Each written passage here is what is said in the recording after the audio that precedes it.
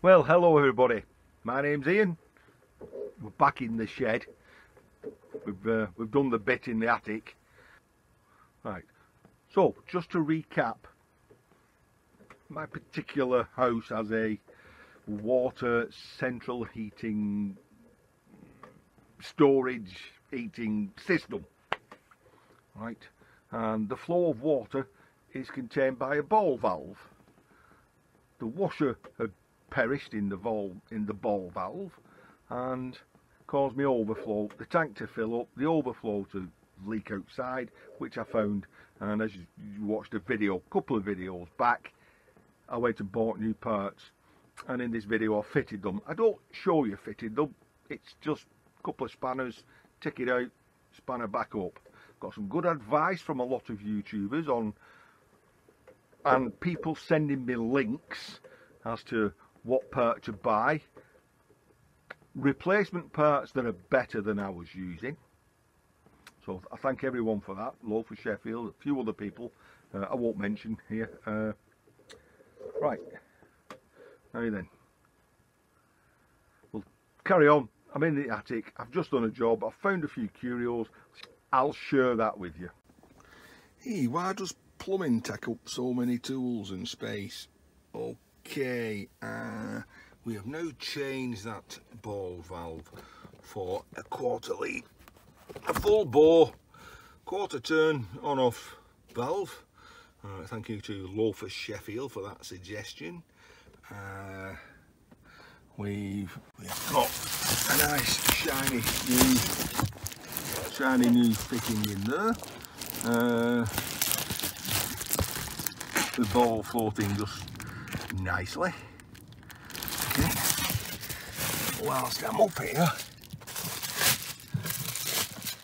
I really need to do another little job, and that's to use this big spanner and box immersion heater spanner and change the immersion heater which is a backup electric hot water heating system uh, for this one. I've already pre-wired it, this probably weren't a good idea. Uh, I'll explain why downstairs in the garage when I've done this. Okay, well it's a, it's a two-handed affair so I couldn't show you me place that, but basically that big spanner goes over there, unscrews it, and you put the other one in, clean the threads up, put the new fibre washer on and tighten it back up but not too tight because this is a copper cylinder and you can twist the neck. All I've got to do now is to do some wiring.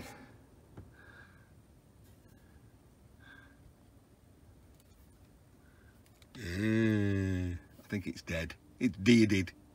Deaded deaded. But whilst I was doing that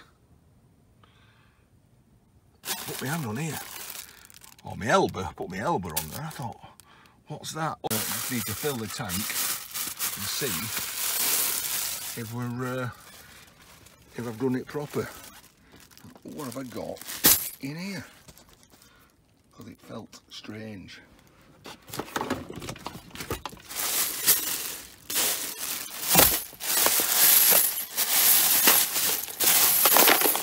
Coins. Lots of coins. Whoa, lots of silver coins. God, I forgot I got these.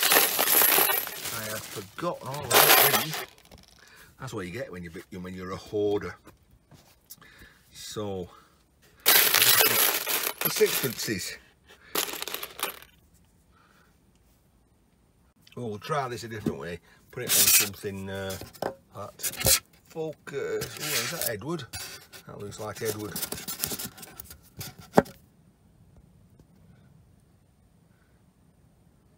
And eight. 1948. Well, I can see a few Edwards sixpences in there. Whoa, focus. Uh, That's not a sixpence. That is a, what's that say? Focus, focus. Two centissimo. Two centesimo. Not got a clue. Centissimo sounds Spanish. Anyone help me on this? What is this coin? Where is it coming from? Anyway, we're digressing. That doesn't get me uh, plumbing done, does it? So I'll tidy up here, see you downstairs, and we will talk about this. Right, I've got all my paraphernalia together. Uh, I have a spur one, so this won't catch me out again. I've got a spur ball as well. Right, just up there and behind there was some piece of paper, newspaper stuffed in. So I'll pull that out because uh, it intrigues me this. Well, first of all, let's have a look at the date. Uh, focus. Page 64, Sunday Mirror, September the 13th, 1998. Wow. Uh, obviously it was just, uh, I don't know, padding. And I read this one, which I liked. Bomb pensioner refu refuses to budge. An old soldier, John Robinson, said, uh, I'm not moving. They found a big bomb at the bottom of his garden, a 500 pound bomb which had lain buried in his garden for 57 years. John, aged 83, and that was uh, in 1998, said, I'm not moving. I never ran when the bombs were falling around me during the war, so why should I move now? Uh, uh, and they just blew it up uh, in uh, in, the, in near Gloucestershire. So all the tools put away now, and I thought we'd have a look at this this old ball valve, float valve. Hey, for those of you who are a little unfamiliar about what they do, you know it, it sits in a tank of uh, big tank. Uh, water goes in that way and comes out that way. That arm has that big ball on the end which floats in the water. Uh, as it moves up, swivels on this point, there's a washer inside which it closes and uh, seals off the water coming in. So I'll take that apart and show you the bits. The split pin, which I've pulled through, holds the arm in place. You take the arm off, you can see it's on some sort of pivot point. Uh, I need to get that end cap off.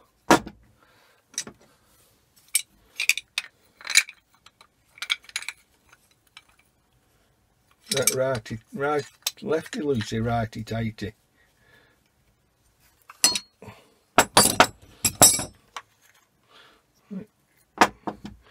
There we go. So as you can see, there's a slot in there. That fits in that slot, and as it and it and it pivots it in, in and out.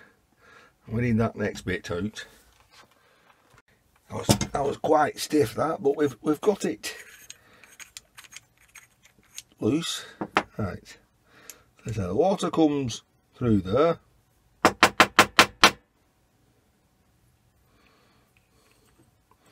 Okay.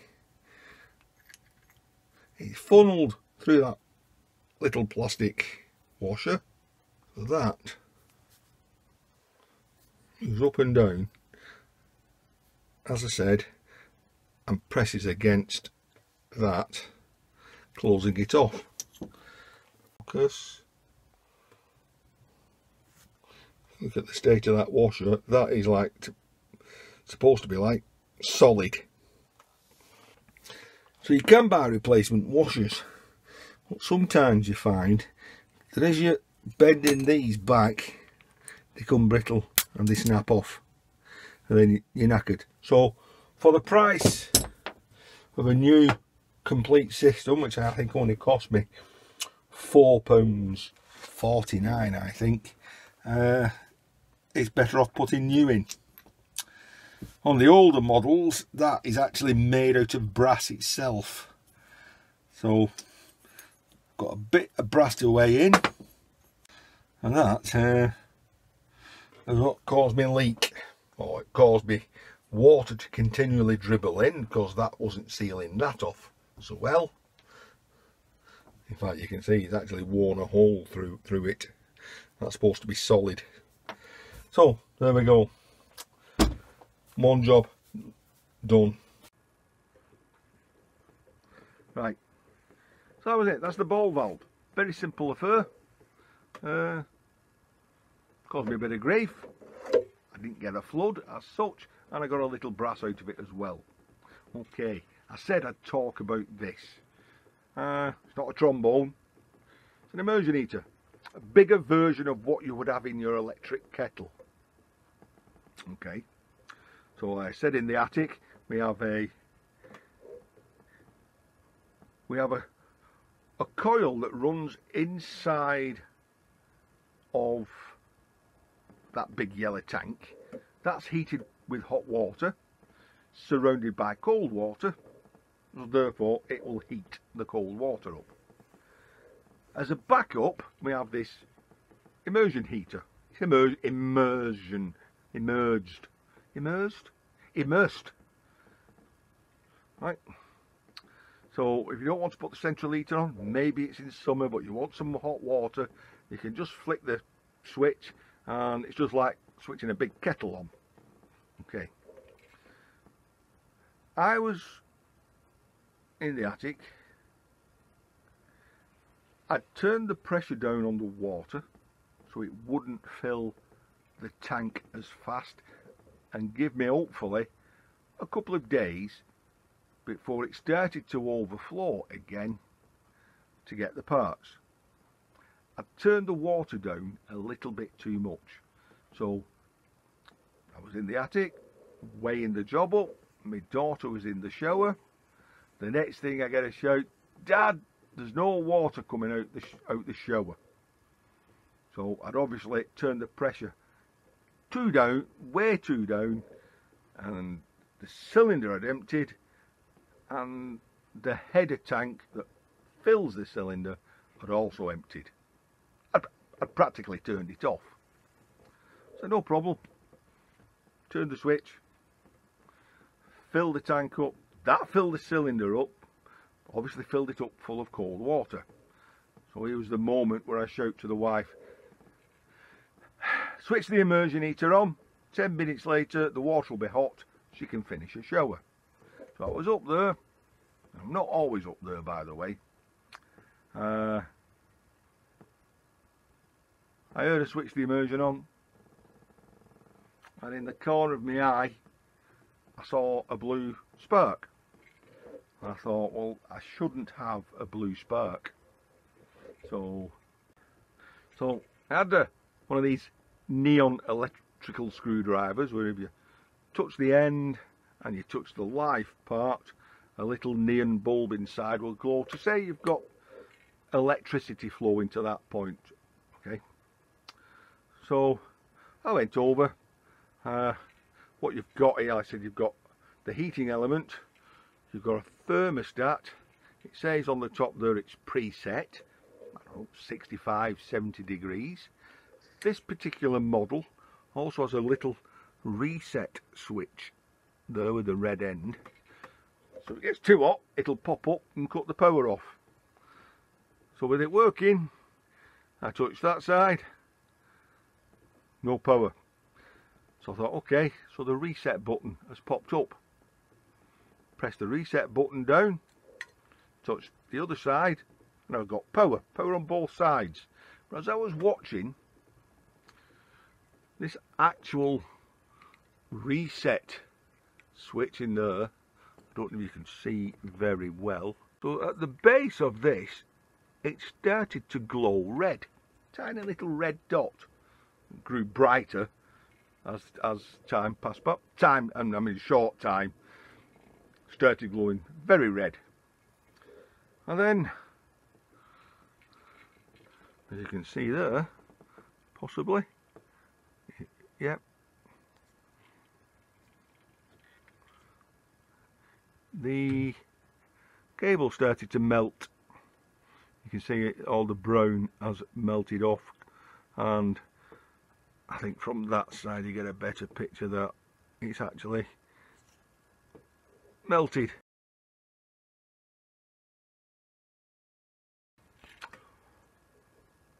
So I was unfortunate that had an overflow leak, but fortunate that it happened because otherwise I would have been in the attic when this would have happened and it could quite easily have set fire. I'm not too sure because it is protected by a fuse and it ought to as it drawed more and more current it ought to have blown the fuse and cut the power off. I don't know. I didn't let it go that far. So uh, that's why I've had to change this. Right, so there we go folks. A little bit of uh, home maintenance done. Uh, never knows could have been worse.